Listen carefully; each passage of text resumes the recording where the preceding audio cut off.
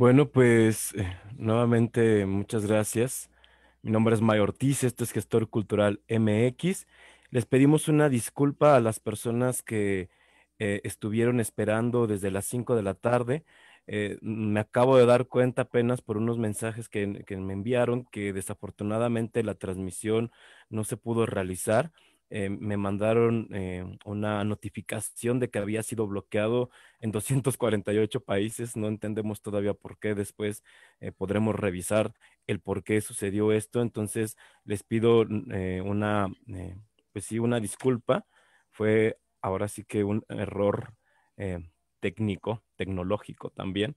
Y pues nuevamente me presento, mi nombre es Mayor Ortiz, esto es Gestor Cultural MX y le agradezco nuevamente a Paulina después de ya casi más de 20 minutos de charla que esperemos que podamos integrar al video editado.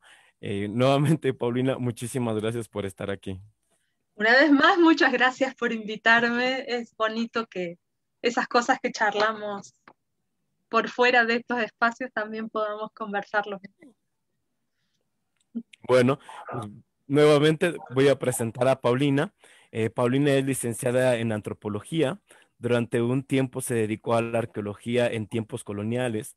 Obtuvo la maestría en comunicación y política por la UAM Xochimilco con una tesis sobre el hallazgo, patrimonialización y exhibición de los niños del Yuyayaco en Salta, Argentina. Actualmente cursa el doctorado en Humanidades, también en la UAM Xochimilco, específicamente en la línea de estudios culturales y crítica postcolonial. Y bueno, está trabajando eh, en esta tesis sobre la exhibición museística de restos humanos interpretados como víctimas sacrificiales de rituales prehispánicos en México. Y pues bueno, eh, estábamos comentando hasta antes de que nos diéramos cuenta del problema de la transmisión, que era muy interesante la situación eh, en relación a cómo se entendía el patrimonio arqueológico en Europa y cómo se entendía el patrimonio arqueológico en países como Latinoamérica, latinoamericanos, ¿no? específicamente el caso mexicano, que pareciera, ¿no? entre, entre comillas, que hay como una división muy eh, específica o concreta cuando hablamos de lo arqueológico, ¿no? En, este país, en contraste con países europeos. Y pensábamos precisamente que podría ser un tema vinculado a los procesos coloniales que se vivieron en la región, ¿no? Y por otro lado, comentábamos también que cuál era esta vinculación entre arqueología y poder con relación también, valga la redundancia, eh, en cuanto a la generación o al surgimiento de los estados nacionales, ¿no? Entonces, bueno, yo sé que nos vamos a volver a repetir, Paulina, pero pues eh, yo creo que hay muchas personas que están eh, escuchándote y que pudieras volver a, contarnos estas reflexiones que tú tienes en relación a, este, este engranaje, ¿no? Entre arqueología y poder. Bueno, yo voy a aprovechar porque creo que lo que veníamos conversando estaba siendo bastante confuso y estaba yo trayendo un montón de cosas que son preguntas que ahora me están rondando indisciplinadamente en la cabeza, pero me, da la oportunidad de poder ordenarme un poquito. Eh, en concreto, el principio de todas estas reflexiones viene como en el afiche con el que me presentamos esta charla, a partir del hallazgo de los niños del Yuyayaco, que son las momias de tres niños eh, supuestamente ofrecidos en sacrificio hace 500 años en el marco de un ritual estatal incaico en el noroeste, en lo que hoy es el noroeste argentino.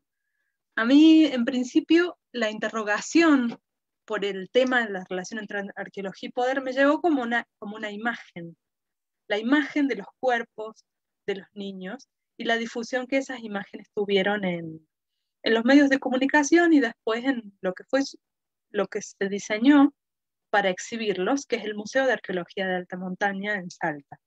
Entonces, ahí aparece un primer elemento para pensar la relación entre arqueología y poder, que es la exhibición, la forma de mostrar eso que ha sido conceptualizado, marcado y pensado como patrimonio arqueológico. Los cuerpos de unos niños transformados en patrimonio arqueológico. Entonces, primero eso como una imagen, como lo que se muestra. Pero por otro lado, en relación a todo lo que, lo que el hallazgo de los niños fue desatando en el, entornos locales, nacionales e internacionales, empecé a pensar que esa relación entre arqueología y poder también estaba mediada por otras cosas, que tenían que ver con la construcción de narrativas político-identitarias. Unas narrativas más disciplinarias, podemos clasificarlas como científicas, que usan algún tipo de cuestiones como los marcadores biológicos, como la situación del hallazgo, como los modelos que la disciplina ha ido desarrollando sobre el pasado, los modelos interpretativos de los restos materiales, pero por otro lado, otro tipo de narrativas diferentes, a veces contrapuestas, a veces complementarias, que eran las narrativas que hacían los, los pueblos, las personas que habitaban los espacios donde esos niños habían sido arrancados, si se quiere, excavados. Eh, yo sé que para quienes practican o han practicado la arqueología, la idea de, de arrancar restos puede ser hasta muy dolorosa porque no, uno no es lo que uno se propone para lo que se forma cuando estudia antropología y cuando estudia arqueología. Es, es, otra cuestión, pero en la práctica eso sucede. Hay una intervención sobre un lugar, una localidad, hay una exhumación y sobre todo, por lo general hay un traslado desde esos lugares periféricos hacia lugares centrales, hacia los centros donde se producen las interpretaciones de esos lejos, de aquellos lugares de donde sale. Cuando se trata de cuerpos humanos, de restos humanos, la situación se complica todavía más. Pero recordemos que en principio lo que interesaba no eran solo los cuerpos, sino también los tesoros los tesoros eran fragmentos de arte, obras de arte, metales preciosos. Estoy remontándome a los orígenes de la disciplina, pero ese imaginario del tesoro asociado a una tumba sigue flotando ahí. Entonces, a ver si me organizo. Por un lado, en esa relación entre arqueología y poder está lo que se muestra y lo que se oculta. Por lo general, en un dispositivo exhibitorio, eh, gestionado y administrado estatalmente, aunque cada vez más también por medios privados. Y por otro lado, la relación entre arqueología y poder se sustenta o está mediada también en esas grandes construcciones o en esas pequeñas construcciones narrativas político-identitarias, en disputa o complementándose. El pueblo originario en proceso de revitalización étnica versus la narrativa del Estado-nación, de la nación como única identidad posible. O, en algún momento, y sé que esto también te interesa a vos, Mike, la idea de la universalidad. ¿Quién encarna la universalidad? Si yo miro hacia Francia y pienso la idea de la humanité con mayúscula, de la humanidad y el Museo del Hombre y, el museo, y los museos también en Londres, en esos centros también hay una especie de, autoascripción, de representación y de narración de la humanidad completa. Desde París yo puedo narrar a la humanidad en todos sus tiempos. Desde Londres puedo narrar a la humanidad en todos sus tiempos. De una manera extraña y por el proceso de colonialidad del saber que todavía opera en nosotros, esa misma relación se reproduce en nuestros estados nacionales. Desde la capital yo puedo narrar a todo el territorio. A su vez, dentro de las subdivisiones administrativas, como los estados acá en México, las provincias, desde la capital puedo narrar y, y por lo general se van reproduciendo con formas particulares, cambiadas, miméticas o no, este mismo tipo de relaciones. Entonces la arqueología, la relación entre arqueología y poder no es tan directa como otras disciplinas que dan insumos materiales concretos para la dominación, pero está ahí de alguna manera.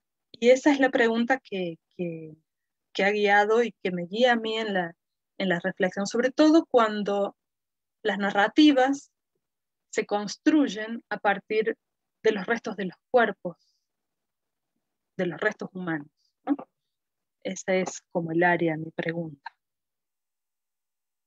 No sé si, Muchas gracias, Paulina, por, por, esta, por este pequeño pero gran reflexión, porque me parece que a través de este ejemplo que tú nos estás contando, ¿no? En esta investigación que tú hiciste en, la maestría, nos permites como entrar precisamente al tema que es sobre cómo se está usando este patrimonio arqueológico eh, en distintos... Em, en distintos niveles, ¿no? Y una de las cosas que tú nos comentabas eh, que nos comenta, pues sí, que nos comenta, que me comentas y que le comentas a todas las personas que nos están viendo, pues es precisamente sobre estas políticas de exhibición o demostración que tiene el poder, pues para poder construir o producir cierto tipo de efectos, ¿no? O con cierto tipo de intencionalidades. Y eso me llama mucho la atención porque eh, hemos hablado también sobre cómo son, se van produciendo ciertas formas pedagógicas y ciertas narrativas para generar estos, estos efectos, ¿no? Que nuevamente regresamos a esta relación entre arqueología y poder. Y sin embargo, ¿no? También lo comentamos en algún punto tú y yo, sobre que no en todos los lugares ni en todos los países, por supuesto, han sido iguales, ¿no? Hablábamos un poco del caso mexicano, que ha utilizado este patrimonio arqueológico o estos bienes o estos objetos para poder construir sus relatos eh, de fundacionales en cuanto a la nación. Sin embargo, en el caso argentino, pues tendríamos que hablar de otro tipo de relatos que no necesariamente están vinculados a una reivindicación o visibilización de lo arqueológico. Entonces me gustaría que nos pudieras como eh, dar una reflexión respecto a estas diferencias que hay y si es que tú conoces otros casos de cómo se han eh, instrumentalizado, utilizado estos patrimonios arqueológicos, ¿no? Uy, qué pregunta. Decíamos y ahora lo, quiero complejizar también un, poquito, ¿no? A medida que me voy sumergiendo en el caso mexicano, voy viendo algunas cuestiones. Vos decías que el patrimonio arqueológico en distintos momentos de la historia mexicana ha sido o mostrado o ocultado, ¿no? Entonces yo pensaba, lo mismo podemos decir para el caso argentino si nos situamos en cosas simples, podríamos, en una simplificación podríamos decir, el relato, la narrativa maestra nacional mexicana reivindica, retoma el pasado prehispánico para, constituirse en un centro, aquel centro de lo que fue aquel imperio, y se identifica de alguna manera con eso. Entonces, la arqueología sería funcional a esa continuidad entre lo prehispánico y el Estado-Nación moderno comiéndose toda la colonia en el medio, ¿no? Poniéndola en suspenso, trazándola. En el caso argentino simplificado, esquematizado muy groseramente, podríamos decir que la arqueología es funcional a la ruptura con todo, con lo colonial, con lo prehispánico, con todo, porque la narrativa maestra argentina se funda en la ruptura con lo americano y una especie de la, la pequeña Europa en el exilio americano. Otro, otro tipo de, artefacto ideológico. Y sin embargo, cuando entramos en las particularidades de cada proceso nacional, podemos ir viendo cosas diferentes. No siempre fue así y no es así monolíticamente en Argentina ahora, no siempre fue así y no es así monolíticamente ahora en México. Y ahí está la importancia de ir contextualizando mejor. Eh, con lo que vengo empezando a leer de México, descubro que lo que se interpreta como el origen de la arqueología mexicana se remonta tan lejos como 1790, con el hallazgo en el medio del proceso modernizador de la Ciudad de México de tres grandes esculturas monumentales, la Coatlicue, el calendario azteca y la piedra de Tizón. No todas fueron ocultadas y enterradas. Solo la Coatlicue y la piedra de Tizoc, asociadas a los sacrificios humanos, fueron reenterradas, ocultadas y quitadas de la vista.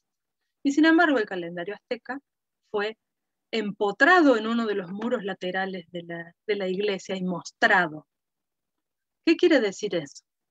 Que en ese momento había una identificación por parte de las élites en control del poder con el pasado mexica o por el contrario, lo que se exhibía era la grandeza del pueblo vencido en un escenario de guerra.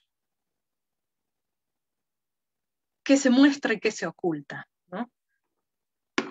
Toda esa primera arqueología asociada al primer imperio y al segundo imperio mexicano que empieza a articularse con las demandas y la curiosidad europea por el pasado mexicano. En el mismo momento que Europa se pregunta por el pasado egipcio, por el pasado griego, por el pasado romano, y demanda que se envíen fragmentos de antigüedades, monumentos, y no solo eso, también demanda que se le envíen cráneos para estudiar racialmente, para desarrollar una ciencia racial que después ha sido tan vergonzante para la antropología, que ha sido borrada y eliminada casi de las genealogías disciplinarias, ¿no? En el mismo momento en que se, estudian y clasifican las evoluciones del arte, las evoluciones de la civilización y la cultura, se estudian los cráneos y los cuerpos de las distintas poblaciones para fundar una disciplina que se va a desarrollar en ciertos sectores de Europa y después va a dar tanta vergüenza que va a ser hasta eliminada. Algunos autores, algunos, sobre todo ligados a un núcleo de producción del saber alemán, ¿no? Eh, que va a llegar a su extremo con el nazismo y después de la Segunda Guerra Mundial va a ser borrado de las genealogías. Y sin embargo, todo eso está presente en los desarrollos de nuestras disciplinas en nuestros países, tanto en México como en Argentina. Entonces eso que parece tan distinto también está respondiendo y en una interlocución desde tan temprano como principios del siglo XIX con los centros de producción de conocimiento de Europa. No es que los procesos pueden ser nacionalmente tan autónomos, sino que en cada uno de nuestros países se están dando paralelamente estos procesos. Y no solo con el Estado-Nación, sino con el capitalismo naciente en el siglo XIX. No nos olvidemos que las grandes exposiciones universales donde empiezan a mostrarse los, restos de las antigüedades y empiezan a fundarse una noción de patrimonio, son las celebraciones de grandes contratos entre entidades inversionistas privados entre los países centrales, capitalistas con desarrollo capitalista, y nuestros países periféricos. Entonces, es como que el banquete, la forma del banquete al que están invitados nuestras naciones nacientes, en una relación de dependencia con aquellas otras potencias imperialistas del siglo XIX, no es en igualdad de condiciones y nuestros desarrollos nacionales va a estar en diálogo también con ese lugar que en esos espacios se nos otorga. Los museos nacionales también surgen en competencia o en disputa con los grandes museos universales europeos. En una tensión que es entre la colaboración y la competencia también, porque no se lleven el patrimonio las grandes leyes de protección de los yacimientos arqueológicos, surgen también para evitar que la gente que viene de esos países centrales siga llevando las cosas. Pero a su vez, se fundan políticas de cooperación entre los sabios alemanes, los sabios ingleses, los sabios norteamericanos, para que vengan, produzcan y produzcan el saber. Entonces la relación ahí siempre es de tensión, entre disputa, entre la disputa y, la, y el agrado, la búsqueda de agrado, la complementariedad. No sé si, queda claro esto que estoy intentando. Por ahí me enredo y... De, hecho, me parece muy provocador lo que estás comentando para las personas que se dedican a la gestión del patrimonio arqueológico, porque precisamente hace un rato leía un libro sobre, eh, sobre el manejo ¿no? y la gestión del patrimonio que está escrito en España. Y básicamente los objetivos o las metas que se plantean eh, en 2006, que cuando fue escrito este libro, es la conservación y la divulgación del patrimonio. Sin embargo, tú haces una apuesta que es mucho más profunda, ¿no? Eh, me parece mucho más eh, reflexiva en cuanto al, a los usos que ha tenido este patrimonio, porque por supuesto, no solamente es divulgar y socializarlo y tratar de instrumentalizarlo para generar una cierta pedagogía nacional, sino que lo que tú nos estás diciendo es que las políticas de demostración o para y de visibilización de este patrimonio están vinculadas a ciertos intereses ¿no? del poder para mantener cierto gobierno, cierto dominio, ¿no? No solamente en la creación del Estado, sino incluso con lo que está sucediendo internamente, ¿no? Porque no, lo comentabas hace un rato, no se trataba solamente de pensar en, en el surgimiento del Estado-Nación porque sí, ¿no? O sea, había un interés, había una, una razón del por qué se estaba eh, este interés en construir una identidad a partir, por ejemplo, en el caso mexicano, a partir del patrimonio arqueológico, ¿no? Entonces, me gustaría que pudieras a lo mejor profundizar un poco más de, porque, porque esta gestión a veces solamente pareciera que está vinculada, insisto, ¿no? En lo que dice este manual, que es la conservación, la divulgación y la promoción del patrimonio, pero no es así. Otra complejidad de cosas ahí me, cuesta mucho como agarrarlo, pero tal vez algo de lo que habéis dicho en la parte que no, que no se pudo ver me pueda servir. Yo creo que los discursos patrimoniales, con su énfasis en el conocimiento, en, en la educación, todo eso que se llama valor patrimonial, es una de las maneras de concebir otra cuestión. ¿Y qué cuestión es esa? Y ahí vienen dos preguntas muy, muy asociadas que yo que compartíamos hace un rato, que es la idea sobre qué es el pasado. Para algunos, eh, digamos, en, todas las visiones patrimonialistas, pareciera haber un, acuerdo perfecto. El patrimonio es, digo, el pasado es un conjunto de hechos conocidos o desconocidos con carácter objetivo, lo que pasó, hechos objetivos situados en un momento temporal de una temporalidad segmentada y concebida direccionalmente, una secuencia progresiva. Entonces, claro, ¿quién va a dudar? El pasado existe, es, ¿no? Está ahí. Ahora, ¿cuál es el valor del pasado? Esa es otra pregunta. Y aparece acá de nuevo la, idea sobre lo político identitario. Eh, uno de los valores del pasado podría ser en, este tipo de construcción, sobre todo la patrimonialista, lo que, donde se fundan nuestras identidades. Nosotros somos porque hay un pasado, hay un proceso que nos trajo hasta aquí, que además marca nuestro destino. Entonces, nos proyecta hacia el futuro, como un tipo de agrupación social X. En este caso, decíamos, eh, por su vinculación con los discursos nacionales, esa comunidad de pasado y de futuro, la comunidad de destino, es la, de la nación en esta construcción, ¿no? Pero no es necesariamente la única. Ahí aparece un tema muy interesante comparativamente también entre Argentina y México, que no, lo habíamos mencionado hasta ahora. En la ley mexicana de, monumentos arqueológicos, históricos, el patrimonio arqueológico es propiedad de la nación, pura y exclusivamente. En Argentina no es así.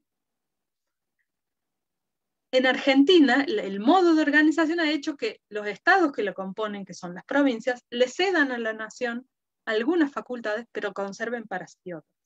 La propiedad del patrimonio en Argentina es de las provincias.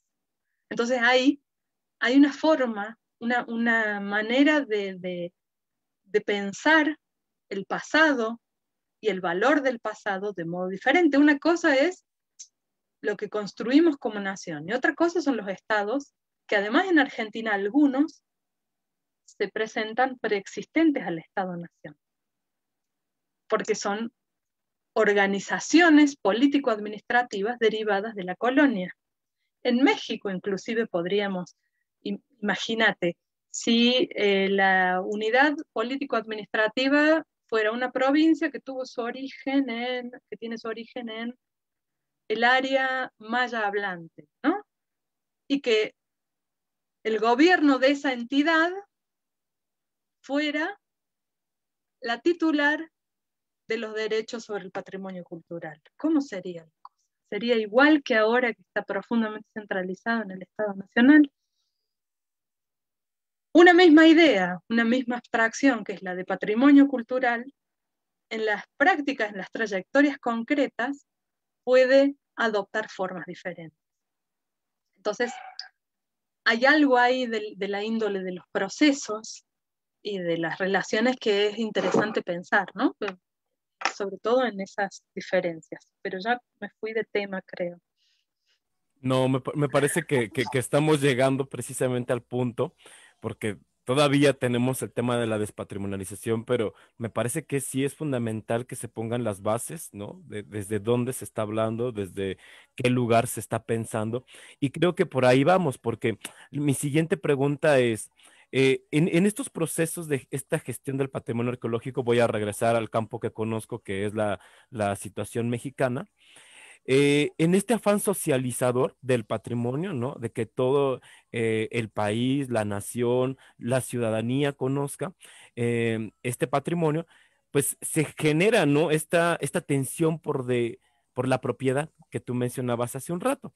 Estaba recordando este documental de Sandra Rosenthal, que es muy famoso, ¿no? Que ha generado mucho escozor en, en- desde algunas perspectivas, porque finalmente esta piedra de Tlaloc sale de Coatlinchan y es llevada al Museo de Antropología, ¿no?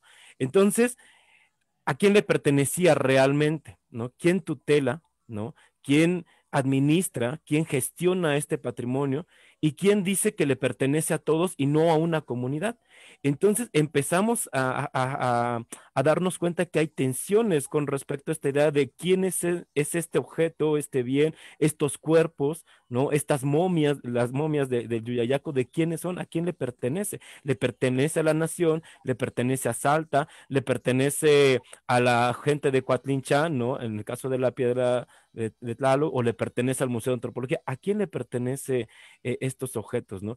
Y me gustaría que pudieras eh, ayudarnos a pensar eh, bajo esta lógica, ¿no? Que siguiendo lo que nos comentabas hace un rato sobre la propiedad, ¿no? Yo creo que hay una diferencia clara entre lo que puede ser la gestión del patrimonio y los discursos de la gestión del patrimonio y los discursos arqueológicos. Hay un, una diferencia ahí muy, muy, muy clara, ¿no? Para mí. Eh, y no necesariamente van paralelamente. De hecho, en la historia de, la creación del Museo de, de, Arqueología de Alta Montaña en Salta, pude ver unas ciertas discrepancias, ¿no? Y las personas con las que interactué, algunos de los arqueólogos o de personal del museo, del área de investigación del museo, también expresaban un cierto malestar respecto a las maneras en que la arqueología entraba, la, la arqueología como disciplina científica, que es como nos gusta pensar a quienes hemos sido formados en esa disciplina, nuestro propio, nuestra propia área, ¿no? Como, como los profesionales mejor equipados para contar la verdad científica acerca de ese pasado entendido como aquello que decía recién, como unos hechos objetivos sucedidos en un pasado de un tiempo que es concebido como uno solo y cuantificable. La gestión cultural, en cambio, suele estar mucho más próxima a la voluntad de un poder político en ejercicio. Y a veces esa convivencia entre gestores y, profesionales de la arqueología no, no, necesariamente es tan apacible. Y mucho más se enturbia, celebro que se enturbie todavía más, cuando entran en consideración los reclamos legítimos de los pobladores de esos lugares donde la arqueología interviene y donde la gestión cultural va a, iba a decir evangelizar, pero queda feo, va a educar, digamos, algo así, ¿no? Perdonen la, la ironía. Pero, pero me parecen que hay, se, se van configurando, hay campos que son complejos y que no pueden ser generalizados. Sin embargo, podemos pensar algunas, algunas cuestiones. Una cosa, evidentemente, sucede cuando la arqueología interviene concretamente y también epistemológicamente. A mí me gustaría también distinguir qué hace la arqueología con su intervención y con su producción, su trabajo de producción de narrativas sobre el pasado. Una cosa es bien concreta y es la presencia eh, un conjunto, una misión científica, una expedición, un conjunto de una campaña arqueológica, cuando es arqueología tradicional, estatal y académica, llega a un lugar, tiene acceso ilimitado a los lugares del paisaje, sin importar la propiedad, si son tierras comunitarias, si son tierras, cada vez esto menos, ¿no? Porque se va regulando y sobre todo en otros lugares de América Latina, donde hacen falta ahora consentimientos de, las poblaciones, pero una cosa es un espacio urbano, otra cosa es un espacio rural, una cosa es un, un territorio ancestral de una comunidad, otra cosa es, tampoco ahí sería posible generalizar, pero ¿qué pasa cuando una expedición arqueológica llega a un territorio poblado ininterrumpidamente por una comunidad que se identifica a sí misma en esa continuidad. Y cuando lo que excava y se lleva de ahí son cuerpos humanos. Hay un arqueólogo sudafricano que dice que ahí lo que termina sucediendo es una confrontación entre dos derechos. Un derecho desde un lugar de enunciación del Estado-Nación con la autorización del poder político al conocimiento. A partir de la ciencia. Y por otro lado, un derecho, y ahí viene, a la continuidad de las formas de vida que tener enterrados a los ancestros implica. Porque los ancestros no son solo una idea abstracta. Los ancestros también son restos concretos, agarrados al territorio que habitan. Cuando en nombre del Estado-Nación y en nombre de un derecho de conocimiento se interviene en un, territorio y se lleva, se arranca y se traslada y después se exhibe a esos ancestros. ¿Qué pasa? Pero no toda excavación de restos humanos es excavación de ancestros. Mi primer proyecto doctoral frustrado en Argentina de tiempos coloniales era, por eso los temas bioarqueológicos, ¿no? Era, eran los cementerios coloniales, porque yo quería ver en los cuerpos de la colonia, las otras racialidades escondidas en el relato nacional. Y cuando no hay una población, por ejemplo, afrodescendiente o indígena que reclame una ancestralidad directa con esos restos, ¿qué hacemos? También es muy difícil de generalizar. Lo que sí noto es que, a diferencia de lo que pasa en Argentina y en otros lugares, porque por ejemplo en Sudáfrica o en Estados Unidos, los movimientos negros han protestado y han solicitado restitución y, injerencia en la gestión de las excavaciones de, cementerios de afrodescendientes, por ejemplo, algo que no sucede en Argentina y algo que claramente no sucede en México, pero, pero hay conflictividad, hay politicidad. En México, la excavación, el traslado y la exhibición de restos humanos no genera ninguna polémica. Y eso a mí me abre un gran signo de pregunta. ¿Cómo es eso? ¿Por qué? ¿Por qué cuando en otras cuestiones las normativas emanadas sobre todo de Estados Unidos impactan tan fuertemente en México, tienen un eco tan grande, estas cosas no lo tienen? A mí me intriga profundamente. Muchas gracias, Paulina. Hoy estamos muy provocadores, pero me parece que es muy importante pensar precisamente en el papel que ha tenido tanto la arqueología como la gestión cultural con relación precisamente al manejo de esto que hemos denominado como patrimonio arqueológico, porque me parece que efectivamente eh, hay como una especie de extraña interpretación que cuando se habla de democratización cultural y que pareciera que es ciertos restos o ciertos bienes le pertenecen a todos porque el Estado-Nación o la UNESCO lo ha dicho así, de repente surgen esos otros discursos y más que discursos, reclamos por la restitución de estos bienes, ¿no?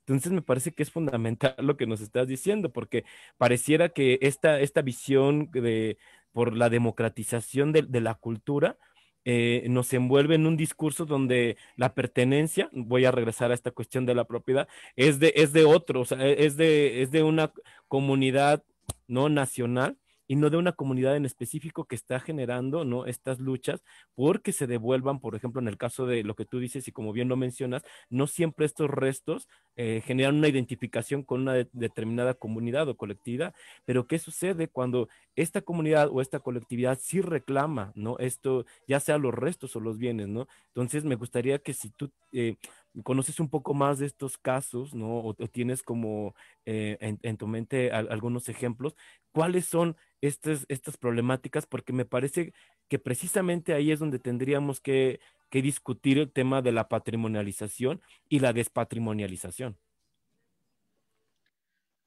Sí, em, yo no soy muy especialista en el tema de restituciones y, y tampoco en el tema de despatrimonialización, ¿no? Hay, hay muchísima producción, muchísimos autores que trabajan eso. A mí, mi pregunta por lo general tiene que ver con qué hace el poder con, con eso, ¿no? Con, con, con, lo que se excava y con lo que se muestra. Eh, sin embargo, hay han habido algunos casos en Argentina en la, década de los 90. Pensemos además, tenemos que contextualizar eh, esto bastante. En la década de los 90 se dan dos procesos juntos.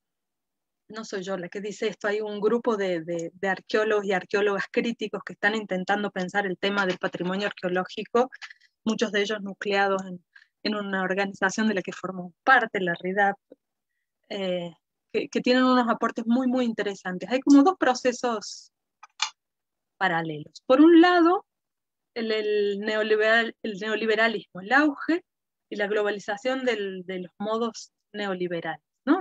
económicamente. la apariencia de, inutilidad de, los entornos nacionales frente a la globalización, la idea de la, retirada del Estado, la apertura absoluta al, procesos de libre mercado, la quiebra de, las, de, las de la producción estatal, de las empresas estatales de servicios públicos, etcétera, un proceso de, empobrecimiento de nuestros países muy, muy importante en la década de 90. En paralelo, empieza a surgir y a entrar en auge el multiculturalismo como discurso de gestión de la diferencia, ¿no? Son dos procesos y qué relación tienen. Y en paralelo con todos estos procesos empiezan ciertos movimientos como el movimiento indígena a organizarse a escala global, el movimiento afrodescendiente, la diáspora a organizarse a escala global, las, eh, cualquier otro tipo de minoría, sea por razones sexuales, el movimiento LGBT, etc. Es, entonces, la relación por estos procesos macroeconómicos, si se quiere, y, y político-identitarios, si se quiere, también ahí hay, hay una pregunta para hacerse. Algunos autores y autoras llaman a esto el multiculturalismo neoliberal, que implementa una gubernamentalidad, un modo de gestionar la cultura particular, donde cada persona y cada grupo se vuelven una especie de emprendedores que necesitan eh, y, que, que, promueven su identidad y su cultura en una especie de mercado fundamentado principalmente en el turismo, pero también en la especulación inmobiliaria, por ejemplo, porque ciertos lugares marcados como patrimonio de la humanidad, de golpe el precio de la propiedad y de la construcción sube, se infla.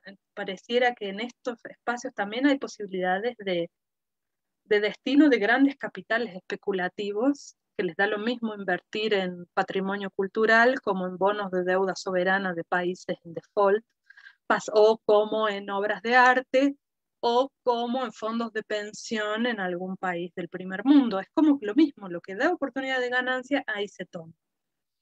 Pero entonces ahí se generan cosas muy interesantes en ese marco de que las comunidades se vuelven emprendedores. ¿Todos los efectos son destructivos o hay efectos benéficos en esto? Yo todavía no lo termino de tener claro. Cierto es que al darse en paralelo los procesos de empobrecimiento profundos de, por ejemplo, aquí en México, los cambios en, los patrones de, vida campesinos, la década del 90, un poco lo que Sandra Rosenthal trata de ver, ¿no? Cómo en pueblos empobrecidos donde la, donde la economía campesina deja de ser relevante, donde se, se, desarticula la, las tierras ejidales, por ejemplo, y se privatizan. ¿Qué significa en ese marco tener una personalidad arqueológica? Tener un sitio arqueológico, tener una pirámide, tener una, una estructura monumental, poder armar e insertarse en un circuito comercial de identidades promovido para el turismo. Entonces, en ese marco de pobreza, esta gestión cultural, patrimonial, compensa remedia un mal que por otro lado ha generado? ¿Cómo, cómo es? Hay una antropóloga boliviana que ha trabajado mucho en el norte de Chile, se Patricia Ayala, que ha visto este proceso en, el, Atacama, ¿no? Yo lo tengo muy fresco porque es como el, el mismo, el mismo núcleo del Yuyayaco, el mismo paisaje que está en el Yuyayaco. La década del 90 los pueblos en esa zona estaban ya casi despoblados, se había privatizado la minería, se había desarticulado el ferrocarril, solo quedaban viejos, muy viejos, todos los jóvenes se iban a las ciudades a buscar trabajo, un lugar además donde la, agricultura está muy, muy limitada a pequeños oasis húmedos porque es una zona muy desértica. Y de golpe, la gestión, el turismo cultural en paralelo con la minería y a veces financiado, porque ahí hay que, hay que meter un, Lo estamos pasando mucho por alto porque entiendo que México viene así, ¿no? Está monopolizada por el Estado. Pero la arqueología de contrato, la arqueología promovida desde las corporaciones, cada vez va teniendo más auge. Entonces, en esos mismos paisajes donde las corporaciones extractivistas se instalan, de golpe esta idea de la gestión patrimonial, la gestión cultural, ofrece puestos de trabajo y hace que las personas que hasta ese momento tenían que emigrar a la ciudad para conseguir sustento puedan quedarse en sus lugares. Por ejemplo, ¿no? ¿Y quién puede decirle a las poblaciones locales que les conviene? Y por eso es muy diferente en relación a qué lazos o qué imaginarios o qué vínculos o qué recreaciones del vínculo con los muertos cada comunidad tiene para, para, tratar de pensar cómo se vincula después con todos estos factores. Yo creo que es imposible generalizar y también entiendo que los gestores sí estén buscando protocolos rápidos para poderlo hacer sencillamente y de modos replicables en otros lugares. Pero yo creo que en cada espacio local, en cada contexto particular, si no se quiere avasallar en una, especie de, de tándem arqueológico gestionador con, lo que son las poblaciones locales, con sus derechos, con sus formas tradicionales de vincularse con los muertos, etcétera, etcétera, si, lo que se quiere es respetar la soberanía de esos pueblos y la autodeterminación y la autonomía de esos pueblos, lo que hay que hacer es primero escuchar y comprender cada contexto y después tomar decisiones conjuntas, conversar. Me, parece fundamental, eh, Paulina, lo que nos comentas. Precisamente, bueno, este canal se llama Gestor Cultural MX y precisamente una de las cosas que intentamos hacer es reflexionar cuál es este papel de la gestión. Y, y, a mí no se me olvida, pues, que su antecedente más próximo es precisamente la figura del administrador cultural, ¿no? Y eso no es casual, ¿no? históricamente, la figura del gestor es heredera de de esta, de esta figura administrativa. Y en este sentido, me parece que una de las cosas que vemos reiteradas en la gestión del patrimonio es que mm, mm, se, se, vuelve a repetir como una visión paternalista y tutelar. Lo vemos, por ejemplo, en el caso de los pueblos mágicos. Hace una, ayer hablaba precisamente con una eh, chica eh, francesa que está haciendo investigación sobre el pueblo mágico en Veracruz y, pensábamos, bueno, ¿quiénes están gestionando realmente lo que poseen estas comunidades? ¿no? ¿Quién es la que decide? ¿Es la comunidad o es el grupo de empresarios? ¿Son las instituciones? ¿O quiénes están diciendo qué es lo que se tiene que hacer con estos patrimonios o con estos bienes culturales que hay ahí?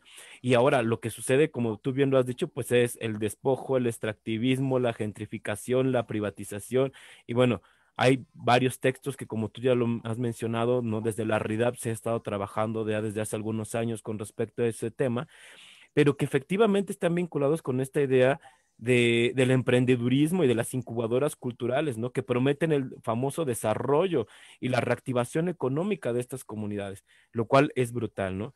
Y por un lado te quisiera pedir una reflexión mm, desde esta perspectiva. Y también te voy a hacer una pregunta que está por aquí, a ver si, si, o quieres primero responder esto y posteriormente creo que nos vamos a la pregunta, ¿verdad? Que tenemos por aquí. No, yo sigo tratando de, de, de, de, de pensar, porque todo el tiempo vos hablas y yo, recuerdo en algunos casos muy puntuales el contraste entre, entre lo que algunas personas que, que practican la arqueología piensan y lo que los museos hay. Y, una pregunta que a mí cuando hice mi trabajo de maestría, al principio cuando empecé tenía muy claro los, quiénes eran los buenos, los malos, cómo era la gesta, el acto de rebeldía, la insurgencia. Una siente como una profunda injusticia el, arranque que se hace de esos ancestros. Pero de golpe se vuelve un poco más compleja la indagación, ¿no? Y una pregunta que me hice a lo largo de, ese proceso fue, ¿qué puede efectivamente un arqueóloga o un arqueólogo ¿Y qué pueden efectivamente un arqueólogo o un arqueólogo frente a los gestores y las gestoras? ¿Y qué pueden las gestoras y los gestores, digamos? ¿Y cómo son los lugares donde cada uno de ese tipo, y qué pueden? Yo no podría hablar las comunidades que pueden ahí en ese marco, en esa, en esa interacción con estos grandes actores, los estatales, y los corporativos, el poder, los poderes fácticos, los poderes económicos, ¿qué sí es posible efectivamente hacer para, para contrarrestar o para actuar o para rebelarse ante esto que se experimenta como una injusticia, como, como el despojo, el saqueo, el extractivismo, ¿qué sí se puede hacer? De alguna manera, una de mis interlocutoras decía que, ella veía ahí en el, el museo que la gente dice de las momias, de Arqueología de Alta Montaña, como una disputa muy grande entre lo que llamaba una lógica de la espectacularidad y una lógica científica. Y a su vez, en esa lógica de la espectacularidad se abría, y también yo pude verlo, una especie de, de, de puesta en escena también de una cierta espiritualidad, ¿no? Pero claro, quienes están gestionando con una finalidad muy particular, vamos a abrir un museo, pensando en los medios de comunicación, en atraer al turismo, en, generar el desarrollo de la comunidad, que siempre tiene que ver con lo económico, ¿no? Ahí se requiere una determinada lógica, una, lo que más vende, qué vende más en los medios de comunicación, que puede atraer más turistas no hay mucho más que eso. Podemos eufemísticamente hablar del valor educativo, de la identidad, cuando en realidad lo que está en el fondo es lo que va a atraer más visitantes y va a traer más inversiones y más recursos, que van a ser además desigualmente distribuidos, no igualitariamente. Y las personas que practican la arqueología o la antropología biológica no se identifican con se identifican con una posición de producción de conocimiento. Entonces, muchas veces la narrativa que se presenta como cerrada, como establecida de una vez y para siempre, no es la que creen los practicantes de esa disciplina. Para no irme demasiado lejos, hace muy poquito estaba viendo un seminario organizado a partir del Templo Mayor de acá de la Ciudad de México, donde se convocaron en relación a la caída, al, aniversario redondo de la caída de, de Tenochtitlan y Tlatelolco, de las dos ciudades, entonces se convocaban arqueólogos, historiadores, etnohistoriadores, para que dieran la visión científica de cómo son las cosas. ¿En relación a qué? A las preguntas que los visitantes del museo, guiados por cuestiones a veces afectivas, emocionales y a veces políticas, decían y preguntaban. Entonces, la intención era transmitir en este seminario la, lo que la verdad científica establecida, que es una, una verdad que siempre, por ser científica, está abierta, porque la definición precisamente de la ciencia es que todo lo que se produce científicamente es falsable, tiene que ser desdicho, No hay una verdad para siempre en ciencia. No sé si se entiende lo que quiero decir. Entonces, el museo y la gestión toma una parte de lo que se produce científicamente y lo muestra, lo divulga, lo difunde. Pero parcialmente y muchísimas veces esa convivencia entre quienes gestionan y entre quienes producen científicamente es conflictiva. ¿Y qué puede cada uno de ellos en estas tramas y, haces y de relaciones de poder? Es muy desigual. Finalmente, en, mi perspectiva, a pesar de que los profesionales de la arqueología y las profesionales tienden a identificarse con el poder que establece la verdad, que es un poder siempre autorizado estatalmente desde un lugar de denunciación gubernamental, a pesar de identificarse con eso, no terminamos siendo más que trabajadores eh, asalariados que contribuimos en un fragmento de una producción de valor de la que no somos propietarios, de la que no tenemos parte, digamos, ¿no? Solo ponemos insumos, trabajamos insumos, somos trabajadores del conocimiento, pero para usar una metáfora marxista, no somos los dueños de los medios de producción, ni de la verdad, ni del conocimiento. Y entonces nos estaríamos identificando con ese poder cuando en realidad solo estamos vendiéndole a ese poder nuestra fuerza de trabajo especializada en gestión o en producción de narrativas científicas o como quieras.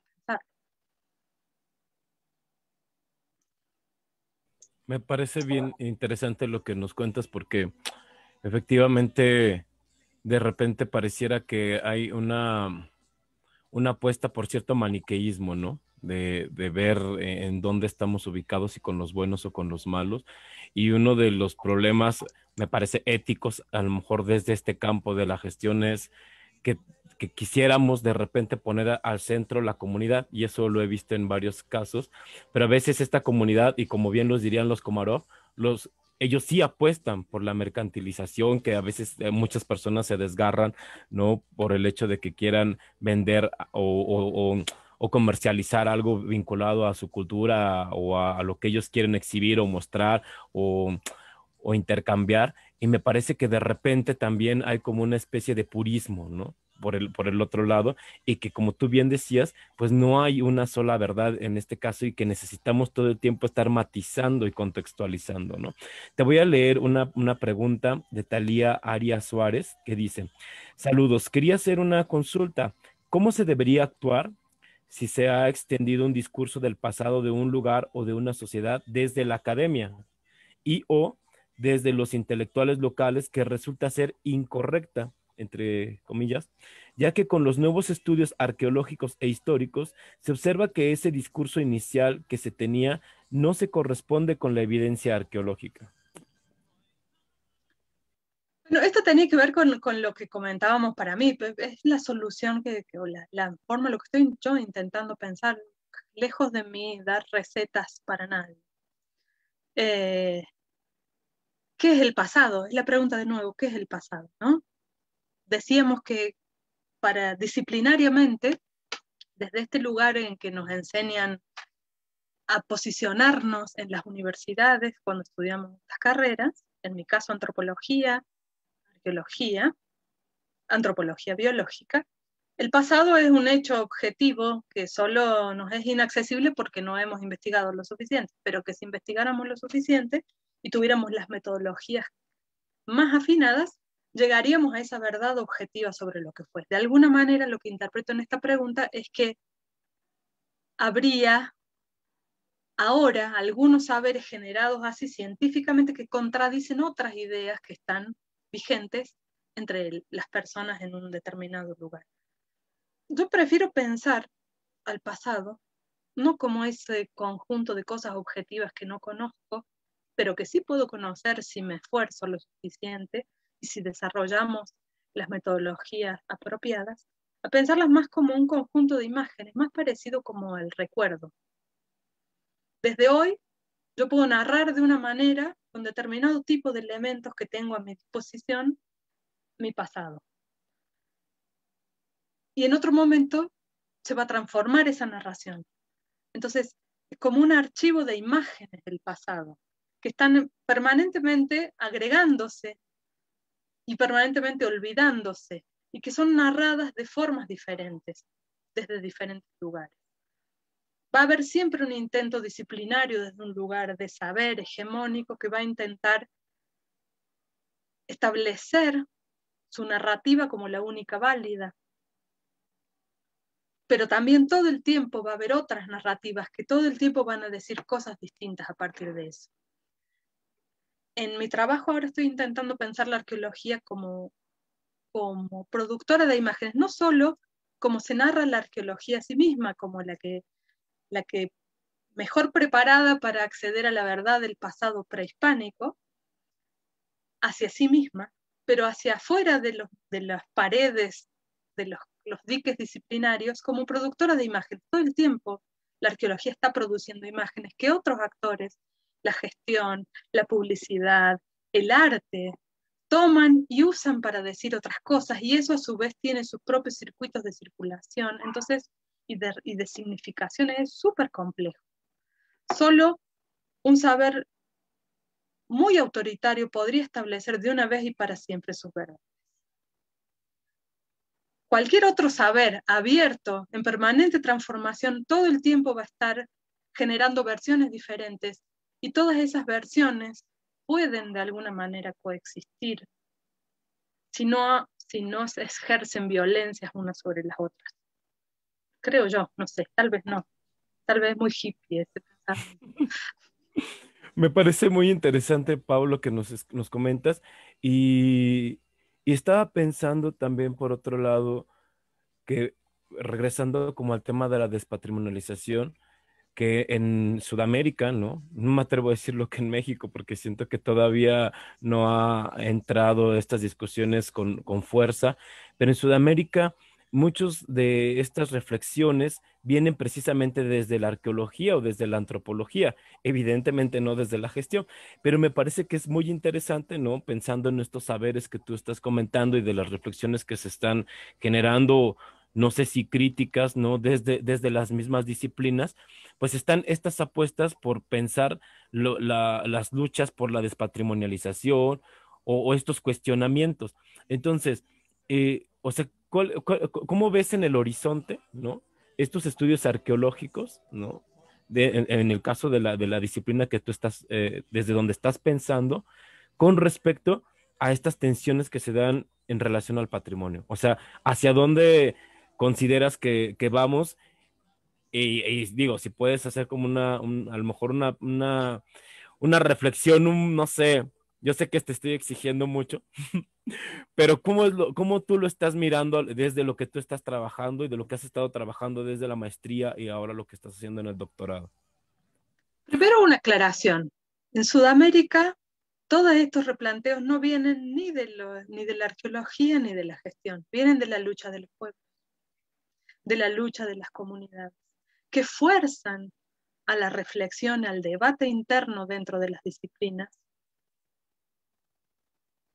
y generan cismas. en el caso argentino, hay, sobre todo, fue, yo interpreto, lo he conversado con, con, algunos otros arqueólogos y dicen que no, porque hubo unos pedidos de restitución previos al hallazgo de los niños de Yuyayaco, pero yo creo yo que fue justo este hallazgo, que además generó una discusión en la opinión pública gigantesca y el mismo año del hallazgo, sobre fin de año, se termina mm, aprobando una ley sobre disposiciones legales sobre restos indígenas que estén en colecciones y en museos. O sea, empieza a legislarse todo en arqueología cuando no se legislaba desde principios del siglo XX. Entonces, fue ese hallazgo con esas características tan particulares que también en un momento en que los pueblos y las comunidades y los pueblos originarios estaban fortaleciéndose para disputar en la arena pública, esa que forzaron a la discusión. En arqueología fue un parteaguas y casi que, se armó una grieta entre, entre los antropólogos biólogos que decían, ¿por qué yo tengo que devolverle los huesos a esta gente? fue a ver qué relación y empezaron a pedir análisis de ADN para... No, quiero ser grosera en la simplificación porque hay muchos, muchos matices también, ¿no? Pero, pero a exigir la credencial de descendencia para empezar a hablar de la restitución. Pero la insistencia de los pueblos, la presencia, la manifestación, en algunos casos logró que esto pudiera irse transformando. Y también lo que empezó a ser una militancia dentro de la comunidad arqueológico antropológica, Ahora estoy viendo que en Argentina está pasando algo muy extraño porque como si se estuviera protocolizando y estandarizando la restitución, que para todos los casos fuera lo mismo, ¿no? hay unas dependencias gubernamentales que estudian y promueven la restitución desde un espacio gubernamental. Ahí se abre otro interrogante. Yo no estoy pudiendo seguir muy claramente lo que está pasando con eso, pero también me hace sospechar, porque todos los pueblos son diversos en sus vínculos y es posible estandarizar y protocolizar la devolución, como ha pasado en Estados Unidos a partir del, del, del NACPRA, ¿no? El acta de repatriación de restos. Se los mandamos y bueno, hagan ustedes, fíjense qué hacen con eso. No lo sé, también abro preguntas ahí. Y respecto a cómo estoy viendo esto, yo temo que como, como las cosas no suceden aisladamente, como las disciplinas nos hacen mirar, los procesos económicos, los procesos culturales, los procesos políticos, no, no están todos separados, vienen todos juntos yo temo que, estemos transitando una vez más hacia el fascismo. Y temo que todo esto que estamos criticando del multiculturalismo dentro de 20 años nos parezca un mundo ideal e idílico, porque el poder haya vuelto a ser profundamente autoritario y genocida. Ese es mi temor. Y mi, pregunta, no puedo hacer futurología, pero, pero ahí está entonces lo que nos interpela políticamente. ¿Qué vamos a hacer para que eso no suceda? ¿Qué espacios de interlocución y de, y de discusión política y de acción política vamos a trazar para que eso no suceda? Así me siento yo interpelada. Pues nos dejas con un montón de preguntas, dudas, reflexiones, eh, y creo que de eso se trata, ¿no? Me parece que ni desde la arqueología, ni la antropología, ni la gestión, ni la psicología, ni ninguna disciplina tenemos respuestas totales, ni correctas, ni verdaderas, como tú lo decías, sino que poseemos de repente ciertas eh, comprensiones fragmentarias respecto a algo, ¿no? Y por supuesto lo decimos desde un cierto lugar de enunciación que a veces, o no más bien que muchas veces desde el campo académico es pues es, es, una posición de poder.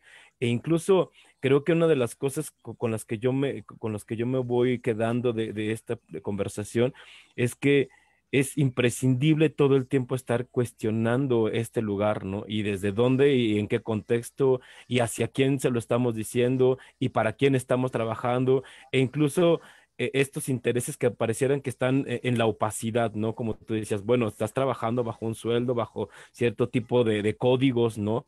Eh, del gobierno o de la iniciativa privada o de la, de la propia comunidad, porque también y como tú bien lo decías, no hay ni buenos ni malos aquí, ¿no? O sea, las comunidades tienen sus propios intereses, la iniciativa privada tiene sus intereses, ¿no? El Estado tiene sus propios intereses y que esto nos obliga a pensar eh, de, una de una manera compleja, ¿no? Interdisciplinaria.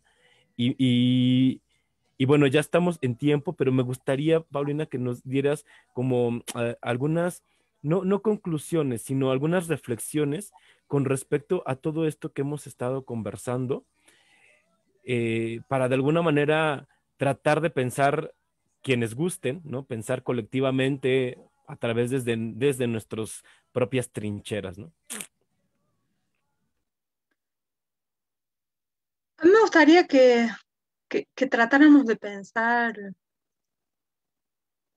de qué otras formas podríamos organizar esto mismo que es, ¿no? que imagináramos formas autónomas, mucho más dialogadas, eh, de, organizar esto mismo.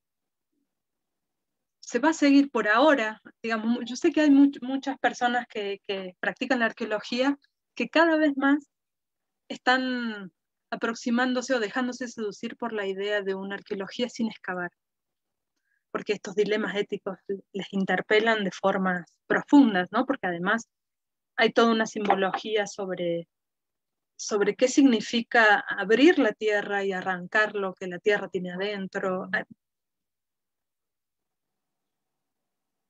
Pero a su vez, la curiosidad por ese pasado que está inscrito en los paisajes que transitamos y habitamos, la pregunta por esas imágenes y por darle sentido a eso que está ahí, va a seguir existiendo.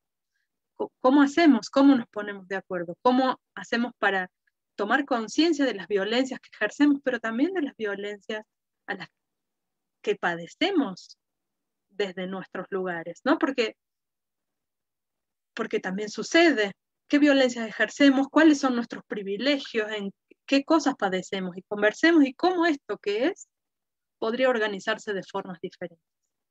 Y eso no es un trabajo que nadie puede resolver en solitario, que necesariamente tiene que surgir de espacios de interlocución, de colectividades que compartan espacios reales o, virtuales o, o una localidad específica o una institución o pero, pero necesariamente implica el debate colectivo. Mucho más no, no, no se me ocurriría. Muchísimas gracias, Pau. Me, me, haces pensar otra vez muchas cosas con esto que comentas, porque pensaba en algo que eh, para mí ha estado rondando durante mucho tiempo, que es el tema del patrimonio como recurso cultural y pensaba, bueno, en teoría con lo que tú mencionas, también nosotros somos parte de esos recursos, ¿no? E, este, este saber, estos conocimientos, pues también han sido instrumentalizados por los fines y los objetivos que sean, ¿no? Pero también pensaba en estas formas de precarización del trabajo cultural y que también son esas afectaciones que tenemos al trabajar en estos procesos. Y bueno, te, manda a saludar, nos manda a saludar Marisol, ¿no? A la cual le agradecemos mucho. Hay un abrazo inmenso hasta el COLEF le mandamos un abrazo. Hasta la frontera norte. O donde quiera que se encuentre. A Melisa Arriaga también le mando un saludo. Y bueno, acá te eh, nos escriben Arqueología del Sur Limitada. Dice, gracias por tanta lucidez, por la reflexión que nos ayuda a crecer como una disciplina realmente social. Saludos desde el Gualmapu. Oh, saludos. Y Talía Arias Suárez nos dice, muchas gracias. Ha sido un placer escucharlos. Hay mucho que reflexionar. Y bueno, por acá también anda Eva, Beatriz Rodríguez y algunas personas que puedo ver.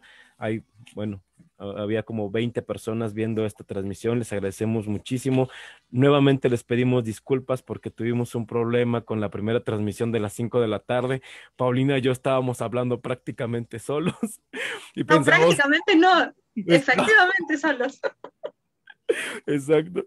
Y bueno, pensamos que nos estaban escuchando y bueno, desafortunadamente no fue así. Pero bueno, eh, Mario Ruffer también, muchísimas gracias Mario, porque Mario siempre nos ayuda a pensar y, nos provoca a, reflexionar. Dice gracias a los dos, hermosos. Es un gran culpable de muchas de las cosas que pensamos, el doctor Ruffer. Que está atravesando nuestras cabezas.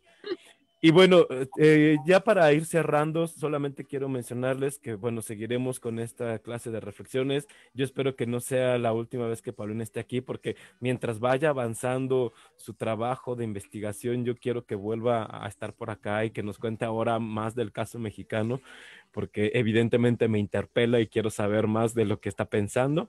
Y bueno, este sábado estaremos ahí con Lourdes Calvo, ahí desde Gomita Arte Textil hablando con una de las empuntadoras de, allá del, Estado de México. Vamos a tener también por acá a Mario Ruffer el martes a las 5 de la tarde También vamos a seguir con el tema de patrimonio, memoria y gubernamentalidad. Entonces va a estar brutal también. Ojalá también puedan escuchar a Mario. Y hay mucho que aprenderle a Mario y que pensar junto con Mario. Les recomendamos sus textos, que por cierto están en las páginas de RIDAP y ahí muchas de estas cosas que estamos discutiendo, pues varias personas también tienen un trabajo eh, ahí ya hecho, ¿no? Entonces pueden visitar la página de RIDAP por cierto, también saludos a Karina Jofré, ¿no? A quien también nos ha acompañado en estos procesos.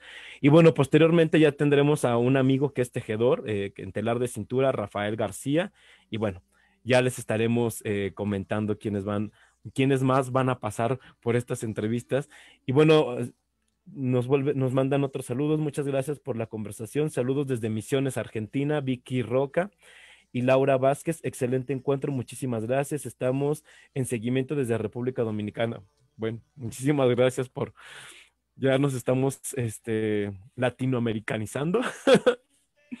y pues no sé, Pau, si tú quieres decir eh, algo mm, al final para despedirnos. Bueno, no, agradecer a todo el mundo que ha escuchado, que ha pasado, que, que, que, que, está, que acompaña de una u otra forma y agradecerte a vos esta, esta hospitalidad, esta invitación. Y bueno, sí, cuando avance, pero sabes que me tenés que dar tiempo para que piense en serio antes de hablar. muchísimas gracias, Paulina. Y pues bueno, ya nos estaremos viendo la próxima sesión. Y muchísimas gracias a todas las personas que estuvieron siguiendo esta transmisión.